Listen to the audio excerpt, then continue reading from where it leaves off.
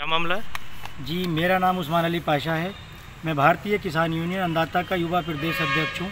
आज जैसा कि संयुक्त किसान मोर्चा के आह्वान पर पूरे देश में काला दिवस के रूप में मनाना था, लेकिन हमने, क्योंकि वैसे ही अपने रामपुर जनपद में जो कोरोना के मरीज़ बढ़ रहे हैं, जिसकी वजह से और ऑक्सीजन की भी कमी हो रही है तो पुतला दहन करना था सरकार का तो हमने पुतला दहन नहीं किया, क्योंकि जब हम पुतला दहन करते हैं तो उससे कार्बन डाइऑक्साइड गैस निकलती है और इतने ज़्यादा पुतले दहन करने से हमारे जनपद का जो वो है ऑक्सीजन लेवल नीचे जाता।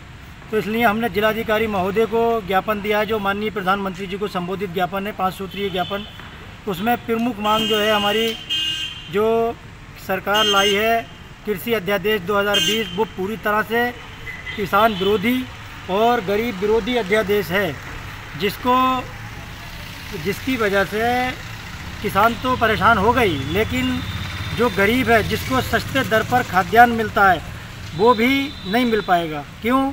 क्योंकि सरकार इस कानून में जो सबसे बड़ा सरकार इसका फ़ायदा बता रही है, वो बतला रही है कॉन्ट्रैक्ट फ़ार्मिंग और कॉन्ट्रैक्ट फ़ार्मिंग से जहाँ एक और किसान बंधुआ मजदूर की श्रेणी में आएगा, बंधुआ मजदूर की तरह अपने ही खेतों में एक मजदूर की तरह काम करेगा, वहीं जब किसान अपने फ़सल का उद्योगपतियों के हाथों जब कॉन्ट्रैक्ट कर लेगा तो ज़ाहिर सी बात है कि फिर सरकार के पास में एक दाना खरीदने के लिए नहीं बचेगा, क्योंकि सारा माल जो है वो उद्योगपतियों के हाथ में होगा।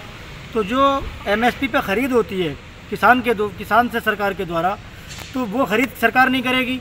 जब सरकार वो ख़रीद नहीं करेगी तो सरकार के पास में एक दाना नहीं होगा। तो फिर ये जो राशन की दुकानों पर जो खाद्यान्न का वितरण होता है, दो रुपये किलो गेहूँ और तीन रुपये किलो चावल। तो ये कहाँ से मतलब वितरण होगा?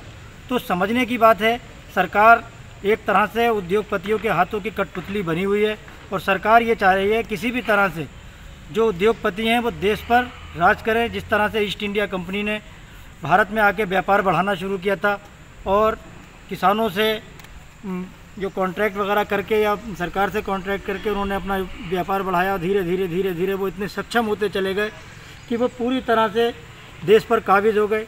वही हाल ये सरकार करना चाहती है कि जो भी खाद्यान्न है देश का, क्योंकि अब सब चीज़ तो उद्योगपतियों के हाथ में पहुँच चुकी है। अगर जैसे कि मान लीजिएगा संचार सेवा है, संचार सेवा पहले भारत संचार निगम लिमिटेड उसकी हुआ करती थी और वो सबको मतलब कहते हैं दूरभाष की सुविधा देती थी। अब भारत संचार निगम लिमिटेड की जगह पर हम पूरी तरह से जियो के मतलब कहते हैं, जियो है, एयरटेल है, या जो भी मतलब प्राइवेट कंपनियाँ हैं, उनके मोहताज जैसे हो गए क्योंकि अगर ये कंपनियाँ आज इंटरनेट बंद कर दें तो हमारे देश की पूरी तरह से देश से चौपट हो जाएगा। तो हमें सहकारिता को भी बचाना है, देश को भी बचाना है, और किसान को बचाना है। सबसे ज़्यादा ज़रूरी जो है देश का किसान है, अगर किसान नहीं रहा और ये अनाज अगर उद्योगपतियों के हाथ में पहुँच गया तो आप यकीन नहीं करेंगे कि जो गेहूँ आप किलो के हिसाब से ख़रीदते हैं या आटा आप किलो के हिसाब से ख़रीदते हैं तो वही आटा या गेहूँ आप प्रति दाने के हिसाब से ख़रीदेंगे। क्योंकि उद्योगपति जानते हैं कि किस चीज़ की, कैसे करके कितनी कीमत लेना है। तो मेरा सभी देशवासियों से अपील है और एक चीज़ ये कि सरकार को अगर किसानों की फ़िक्र है, अभी क्योंकि आंदोलन से पहले जो किसानों ने मतलब कहते हैं, सरकार ने एकदम कंपनियों ने जो प्राइवेट खाद कंपनियाँ हैं, उन्होंने एकदम मतलब कहते हैं रेट बढ़ा दिए थे। एनपीके का या डीएपी का रेट उन्नीस सौ रुपये प्रति क्विंटल, प्रति गट्टा हो गया था। तो किसान आंदोलन को देखते हुए सरकार ने सब्सिडी बढ़ाई है पहली बार, जो कि पाँच सौ रुपये प्रति कट्टा से बढ़ाकर बारह सौ रुपये प्रति कट्टा कर दिए, जिसका फ़ायदा किसानों को मिल रहा है। तो ये चीज़ों की ज़रूरत नहीं है। हम कहते हैं कि आप माननीय प्रधानमंत्री जी, जो आपने वादा किया था कि जैसे ही हमारी सरकार बनेगी 2014 के चुनावी घोषणाओं में आपने वादा किया था कि जैसे ही हमारी सरकार बनेगी तो सबसे पहला काम जो किया जाएगा, स्वामीनाथन आयोग की सिफारिश के अनुसार किसानों की फ़सल का मूल्य घोषित किया जाएगा। तो आप उस वादे को आप पूरा कर दीजिए। आपको किसान के किसी भी चीज़ की कोई समस्या नहीं है। बहुत बहुत शुक्रिया। जय जवान, जय किसान।